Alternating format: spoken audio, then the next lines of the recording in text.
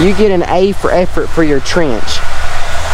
Oh yeah. Because I don't put that much work in it. I just throw some litter up against the pipes. I don't dig a trench out for them. Took you five minutes to walk across the barn kicking the litter. I need a PTO ditcher in here.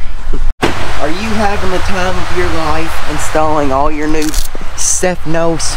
What are these things called? Um, chick mates? No, not chick mates. Feed turbo tray, something like that. Yeah, you better look up the proper name. They're turbo mates. That's what they're called. Turbo Mates. If you want to tell about our little, basically something happened and our farm was supposed to get birds Thursday. Today's Monday and now they're coming tomorrow and we're not really ready at all. Well, for those that know, you know, that grow chickens, and uh, you're an independent contractor and you're at the mercy of the company. Yep.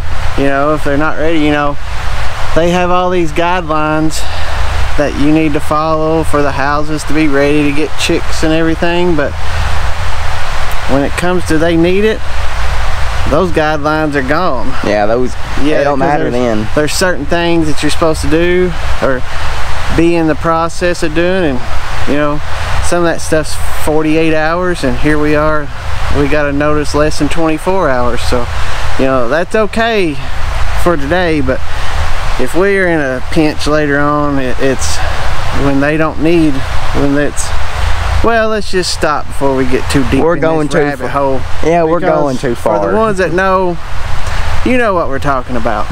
We had already had this plan, what we're doing here, and we'll get into all the other oh, stuff Oh, what later. did you do? That ain't coming off. That's sticky That's molten plastic. from your grinder. We'll get into that too. Yeah. You can show them why we're having to use a grinder. From Central City, Kentucky, the home of True Vine Farms, the one and only Farmer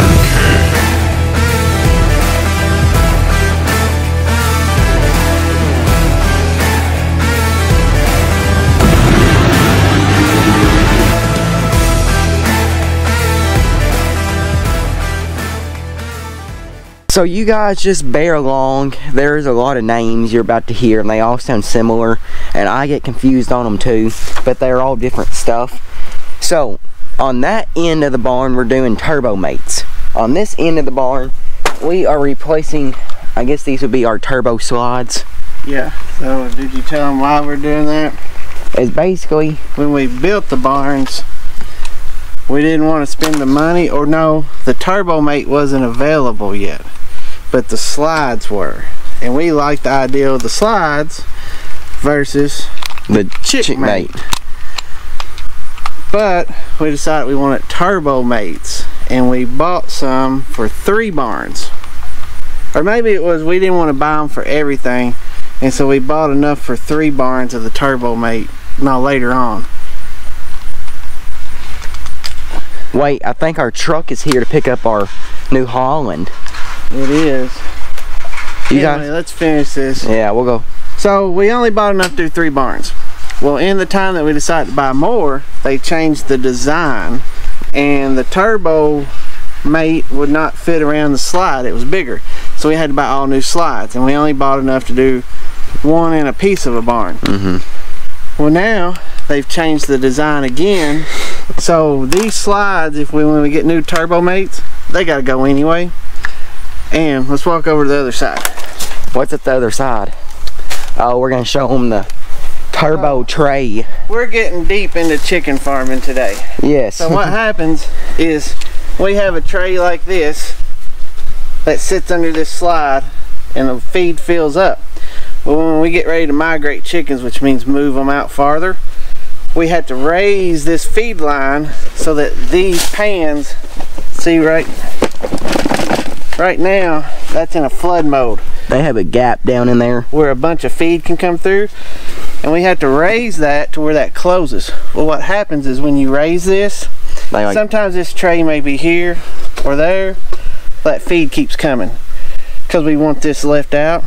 So what we're going to do is we're going to replace this these slides since they since Sephnos sent us the chick mate we thought well we might as well utilize them because if we get turbo mates later they've got to go anyway is if we put that there then it's going to let that feed stay down in that turbo grow tray. Yeah. And did you show them the cool feature of the new turbo tray? Oh, the spring loaded. Oh gosh. No, no, that's the turbo mate. Oh, the turbo tray. So, let me find an old one here. So, right here, as you can see, the dusty style. Yeah, This is- is on the wall. As if you watch Instagram or anything, this would be like the white bro. This is like the OG version. Is I guess how our Well, one of them, yeah. and this is the new version. When So we pick these up, you can see we have them on the wall, and we're usually a distance away. So it's a toss. yeah, we chug them, and what happens sometimes is it comes apart. So then you get to pick up and put all these back together, which are not hard. They snap, but If you look, there's little um clips on the bottom of these that hold it on together. yeah, no more coming off. It's a miracle. That's a good feature. We see in row crop farming we get excited when we um buy new equipment that's 30 years old. In chicken farming, we get excited when we get new trays.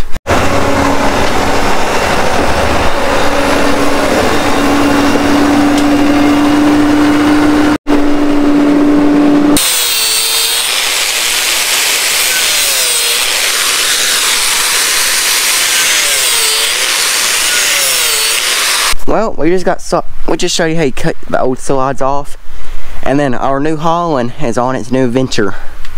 Maybe they'll just bring back a whole nother tractor. I guess it's going to Owensboro, Kentucky to get whatever it needs to be fixed on it. Thank the Lord we ha still have a warranty on it Yeah. because we, you know that phone call they send to extend your warranty, Yeah, we're That- going we're definitely gonna be asking about that one on it. because it seems like that tractor has a lot of issues. Yeah, it's only just a It's year, not even year and a half. year and a half old and it has less than 300 hours on it.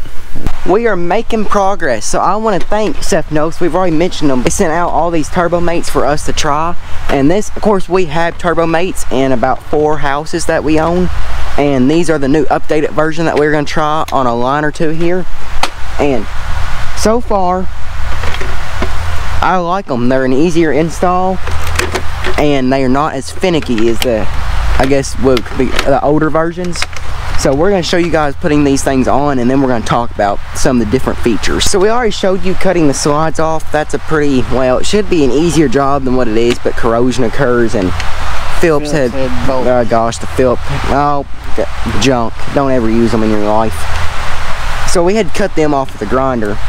But basically your slide piece, it's a two piece part and it's got hinges. So you slap your bottom on, hook the hinges in, and then you rotate it over the top. You want to be a demonstrator here? Yeah, you got your groove that goes on the feed line. And since we've already had them on here, we can line up the middle with the middle of that, and we know that the hole is lined up. And you can open it and show them the hole underneath. And then there's a hole in the tube, and then your feet just falls out. You got slide, you close, open, close, open, close. And now we are entering the time-consuming part of this, is that each slide you have two bolts you have to install, and it's just a nut and a Phillips head bolt. So we got our driver here, and the nut has like a groove up inside the piece of plastic it slides up into to hold itself. And then you know you just have a person go down there and put bolts in, then you driver comes along, hits them all in. That's the hardest part of this process.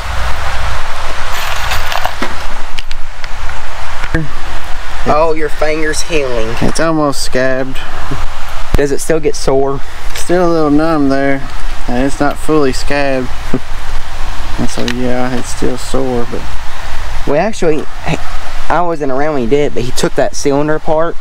There ain't nothing left of the seal kit in it. That'll be, it, we're gonna be lucky if we can find a seal kit to put in there. So on our final step, you want come, one y'all want to come demonstrate so I can hold the camera. I need like three hands for this job. So we got our bolts on. Look, we got like a little spring-loaded tab. Open the tab up, slide the tray around. It's done. Now we gotta multiply that times what? How many trays? uh, we got 66 in here.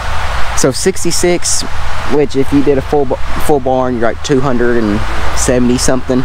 But that simple. We're gonna go into more detail though too. So what we have in the barn to compare here is we have the first generation over in our older two houses that we have. And then we also have the second generation and I'm gonna assume that this is the third generation. Now don't quote me on any of this because I'm not 100% sure. I'm just going based off the updates that we've seen. So with your second generation, you have a locking tab. You have your slide right here that opens and closes feed and it can go either way across. Well, that's got a lot of crap that just fell out of it. But anyways, and then you push your locking tab in to where the main difference on your third generation is your locking tab is spring loaded. So also you just pull, well, you just pull, it pulls. And then when you want to drop the tray down and pull the tab, falls back down. Other than that, the tray and all that is still the same design. And then we have our chick mates right here that we installed. And basically, they just have a little tube here that flip up when you don't need feed and then when you want feed you flip them down and we're gonna put our new trays under there. Once again, thank you to Sephnos for sending all this stuff out and we will definitely show it and keep you guys updated as the birds are growing. Then we also got some, I'm gonna call it chicken fence, but some fences we're gonna put in and we're gonna show those too. We just got done zip tying this fence together. We're gonna see how this works out, but yeah, basically you just zip tie each and every little panel together all the way down across the lines. But now we got something really cool to show you. So what we got next to show you is called a migration fence. These things are nice. They're this triangle, they're easy to maneuver, and they slide right together. Basically, they got a male and a female end, slide them on top of each other, and they meet like that.